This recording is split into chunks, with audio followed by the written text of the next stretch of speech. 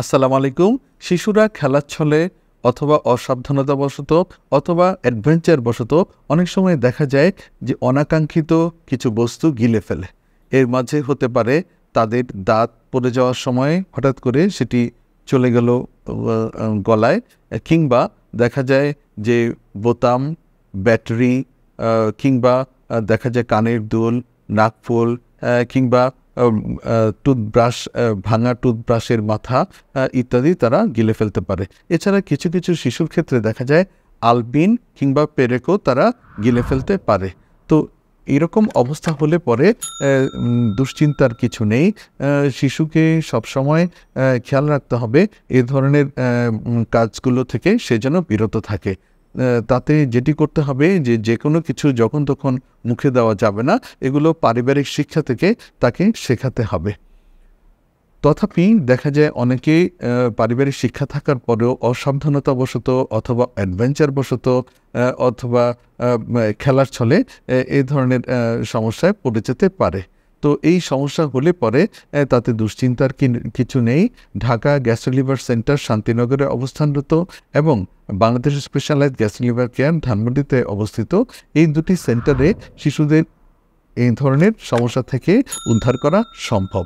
সেক্ষেত্রে যেটি করা হয় যে আপনারা দেশে যে প্রান্তেই থাকেন না কেন, এরকম অবস্থা যদি হয়ে থাকে, তাতে উদ্বিগ্ন না হয়ে মাথা ঠান্ডা রেখে নিকটবর্তী ডায়াগনস্টিক বা হাসপাতালে যেয়ে একজন ডাক্তারকে দেখাতে পারেন এবং সেখানে যে একটি পুরো পেট এবং বুক সহ একটি এক্স রে করতে পারেন। এক্স রে করে আপনারা জেনে নিতে পারেন যে সে গলাৎকরণকৃত কানের দুল নাকফুল বোতাম, পেরেক ব্যাটারি আলপিনটি কোথায় অবস্থানরত?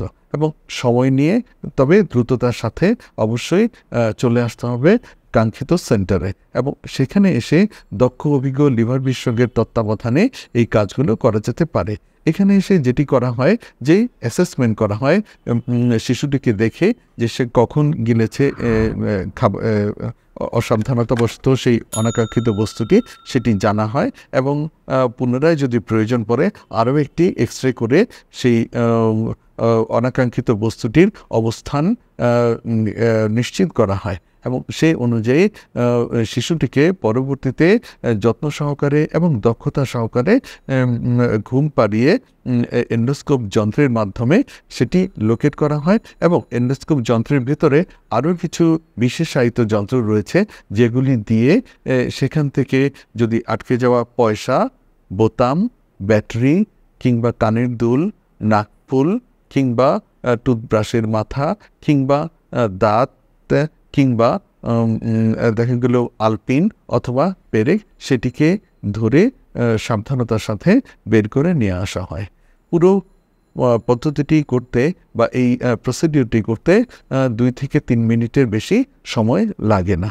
এবং রোগী স্বাভাবিকভাবে কোনো টের পান না সে- সম্পূর্ণ সময়টিতেই সে ঘুমিয়ে থাকেন। একজন দক্ষ, অভিজ্ঞ অ্যানেস্থেসিওলজিস্ট তাকে সার্বক্ষণিক পরিচর্যা করেন এবং ঘুম থেকে উঠে সে বুঝতেই পারে না যে তার এ ধরনের পরীক্ষা নিরীক্ষা করা হয়েছে এবং তার খাদ্যনালী পাকস্থলী কিংবা ডিওডানামে আটকে থাকা পেরেক, আলপিন কিংবা বোতাম ব্যাটারি কিংবা কানের দুল, নাকফুল ইত্যাদি বের করে নিয়ে আসা হয়েছে। এবং খুব স্বাভাবিকভাবে তৎক্ষণাৎ রোগী সেই সেন্টার থেকে হেঁটে বাড়িতে চলে যেতে পারে। কোনো প্রকার ওষুধ বা কোনো কিছুর প্রয়োজন পড়ে না।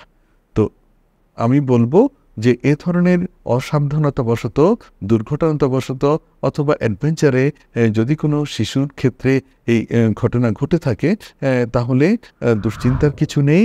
আপনাদের পাশে ঢাকা গ্যাস লিভার সেন্টার এবং Bangladesh specialise gas liver care রয়েছে। এই সেবাটি দেওয়ার জন্য দিনরাত চব্বিশ ঘণ্টা। আজ এ পর্যন্তই। পরবর্তীতে আবারও দেখা হবে। সবার দোয়া চেয়ে বিদায় নিচ্ছি। আল্লাহ হাফেজ।